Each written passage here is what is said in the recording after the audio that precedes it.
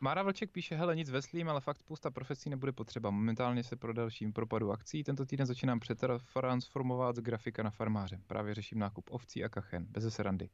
Hele, to jsme si říkali vždycky v kanceláři už tak asi posledních 15 let, že as nás to všechno naštve, tak si pořídíme ovce a farmu a na všechno se vypečem.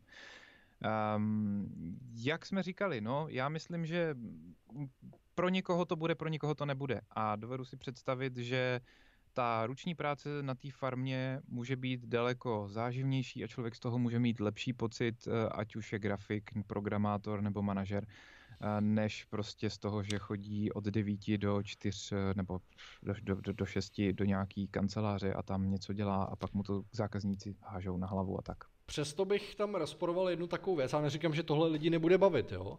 ale vlastně si myslím, že spoustu lidí baví jako opravdu ta kreativita, že jako lidi většinou nebaví jako řemeslný nebo nějaký manuální věci, eh, typu jako třeba nějaká těžší práce a podobně, protože to vlastně můžou do budoucna dělat třeba ty roboti s tou umělou inteligencí.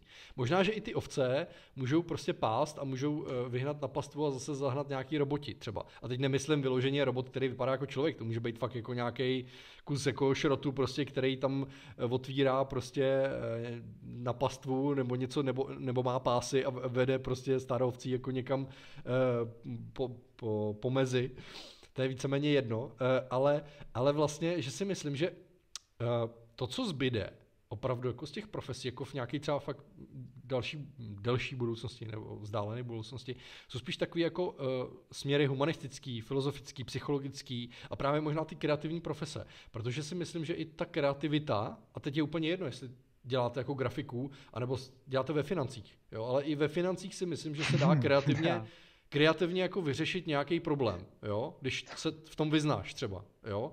Nebo, nebo v nějakém účetnictví jako, a daňových no, tam, optimalizacích, tam, tam jsou lidi jako kreativní jako často. Kreativitou Jo, takže, takže jako vlastně je to o té kreativitě a myslím si, že právě i to umění jako kdyby jsme se podívali úplně jako mega, mega do budoucnosti, jakože když prostě tohle vůbec neřešíš, jako všechno řemeslní, prostě fakt za tebe dělají roboti, androidi, prostě jako lidi, dejme tomu, jo, tak jako m, myslím si, že lidi potom, jako když už nemusíš dělat tyhle ty věci, které ti uh, zajišťují jako obživu nebo život prostě jako takový, tak vlastně lidi potom hledají jako nějaký smysl života.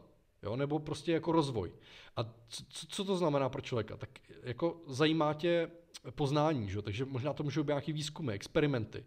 Já jsem slyšel, že uh, můžeš prostě třeba dělat experiment toho, že prostě začneš žít na stromě.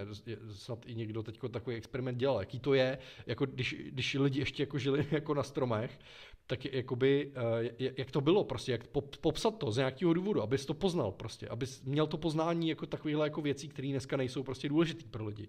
Jo? A, a nebo se budou bavit.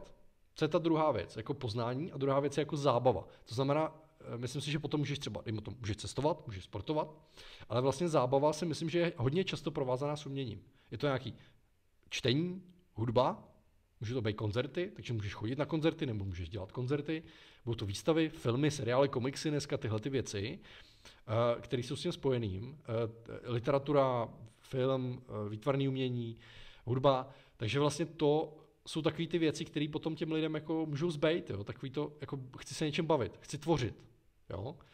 tak to, to si myslím, že je taková hodně vzdálená budoucnost a tam si myslím, že to teoreticky jako může zpět. No, já myslím, že to asi tak vzdálený není a to vychází v podstatě, takhle fungovala aristokracie dřív. Uh, že? To byli ty lidi, kteří měli zabezpečený ty základní životní potřeby, měli kde spát, neprošlo jim na hlavu, měli za co jíst a tudíž se věnovali rozvíjení svého ducha a právě četli ty poezii, psali poezii, četli knihy, věnovali se malování obrazů nebo chodili na výstavy, věnovali se hudbě a tak.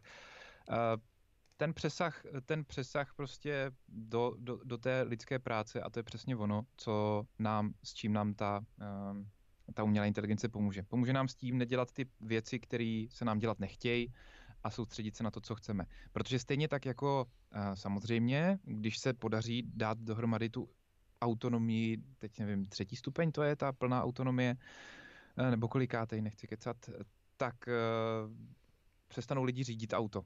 No ale určitě bude existovat skupina lidí, kteří prostě budou chtít řídit to auto pro zábavu, protože ho budou chtít řídit. Nebudou ho už moc řídit po dálnicích pravděpodobně, ale budou mít někde nějaký okruh, kde si budou moct jezdit jako závodníci a budou v tom třeba nějaký, uh, nějaký závody, tak jak jezdí teďka F1, že jo.